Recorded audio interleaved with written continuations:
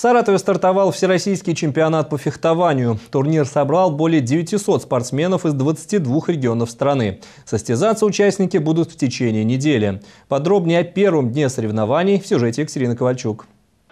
Правила этих соревнований довольно просты. Спортсмены борются до четырех ударов, и уже после победитель этого поединка переходит в следующий этап. Далее бой ведется по олимпийской системе, так называемая игра на вылет. Проигравший фехтовальщик покидает соревнования, а победители встречаются в полуфинальных и финальных боях. По словам главного судьи этого турнира, несмотря на маленький возраст спортсменов, правила соревнований для них не упрощались. Они сами никаких поблажек не примут. А во-вторых, у нас правила для всех единые, что за взрослых, что за юношей, и никаких поблажек для них нет.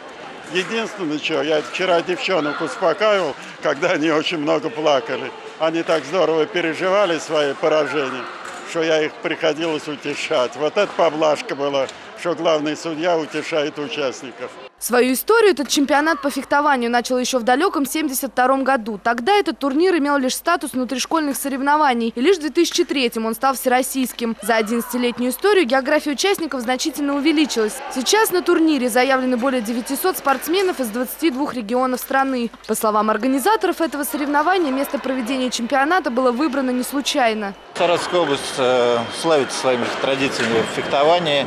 У нас это и наши олимпийские чемпионы Юрий Федорович Сисикин, и Юрий Дмитриевич Шаров, и Валентина Александровна Пруцкова. Это Игорь Турчин, который в прошлом году стал чемпионом мира и чемпионом России здесь, и готовится для участия к Олимпийским играм. Вот. У нас э, существует э, школа Олимпийского резерва по фехтованию, в которой занимается практически 700 детей.